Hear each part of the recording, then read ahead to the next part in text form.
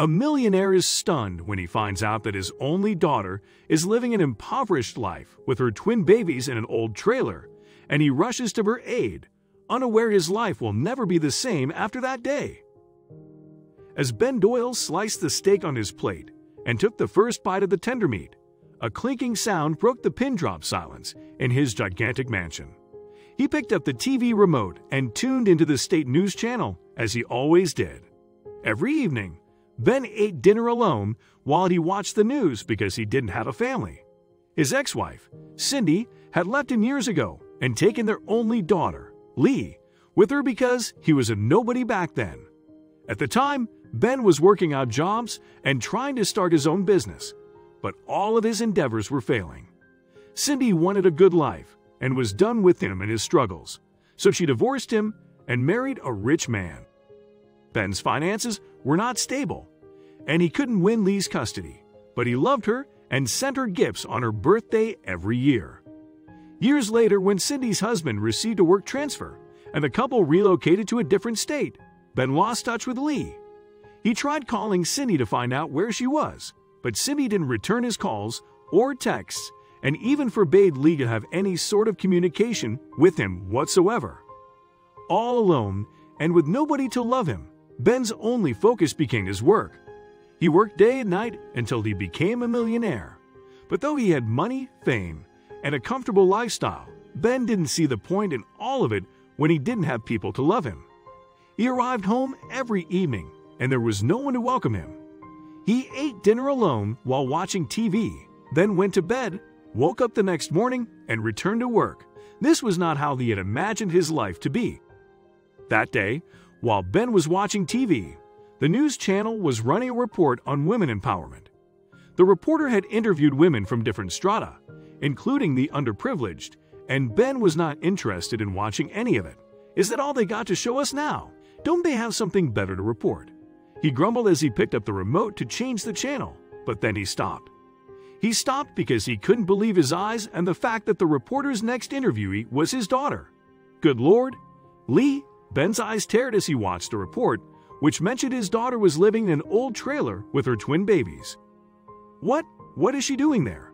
How could she just Ben noted Lee's address flashed at the bottom of the screen? And the next moment he knew, he was in his car, feeding the location into Google Maps. What was Lee doing in town? Didn't she move with Cindy to a different state? Why was she in such a terrible condition? Ben felt like his head would explode with his countless questions. He drove as fast as he could at moments that seemed like hours later. He was right in front of the trailer. It was evening, and he couldn't see the trailer very well owing to the darkness, but he could still make out its shabby condition. His tears didn't stop as he knocked on the door. A couple of minutes later, Lee answered the door and was shocked to see him. Dad? Oh God, what happened to you? And how did you? Ben hugged Lee tightly. What happened to you, Lee? What are you doing here? Why didn't you contact me if you were struggling? Lee pushed him away. Enough, Dad. You were the one who walked out on us. Don't you remember? Mom told me everything. You never wanted us because you loved your business and career. What's the point of it all now? Is that what Cindy told you? Ben was shocked. Do you really believe that? Of course, I believe Mom. She was always by my side when you weren't. Ben shook his head.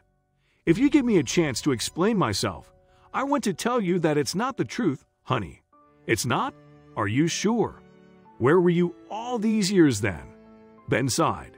Can I please take a seat before I start? I'm exhausted. Lee opened the door wider without uttering a word and led him inside the trailer. Ben spotted the twins sleeping in an old bed in the center of the small space, and he felt terrible. Before I tell you my side of the story, he said, sitting on a stool, I hope you take all those negative things about me out of your head.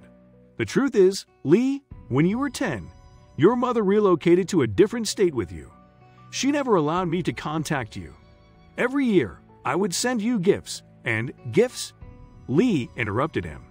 What gifts? Ben sighed. So she didn't let you have those presents. Here, he showed her pictures on his phone. Every small memory about you is saved on my phone. The pictures we took, the presents I sent you, everything. I look at it whenever I miss you, I used to send you gifts every year, but after you relocated to another state, I couldn't reach you. I found out about you while watching the news today. But honey, what happened to you? What exactly are you doing here? At this point, Lee's tears knew no bounds. She had been wrong about her father. I'm so sorry, Dad. Mom died a few years ago, cancer, and after that, my stepfather married someone else. I was dating a guy who brought me here after promising that we would start a family here and that he would get a good job. We did start a family, but he abruptly left us one day and never returned. This is the only way I could survive on my own. I work as a tailor to support my girls. Ben held her hands in his. Listen, Lee, we can't change what happened in the past, but we can make our future better. You and your children are coming with me. I can't let my daughter live like this, please. You don't deserve this. I don't know what to say, Dad. I'm so sorry. Perhaps I should have made an effort to get in touch with you. I'm so, so sorry. It's okay, honey, he said, hugging her. I love you no matter what. Love you too, Dad, and I'm sorry again. After Lee moved in with Ben, he'd offered her a high position in his company, but Lee refused. She was inspired by how Ben made a name for himself, and she wanted to do it too. She thanked him for his support and that he gave her shelter and became the best granddad to his twin daughters. Lee wants to make Ben proud, so she's learning business basics from him while working part time as an intern at his company. But whatever happens in the future, whether Lee makes it huge in life or not, she and Ben are finally happy, and the twins have a devoted grandfather. That's all that matters. After all, at the end of the day, nothing feels more precious than a happy family.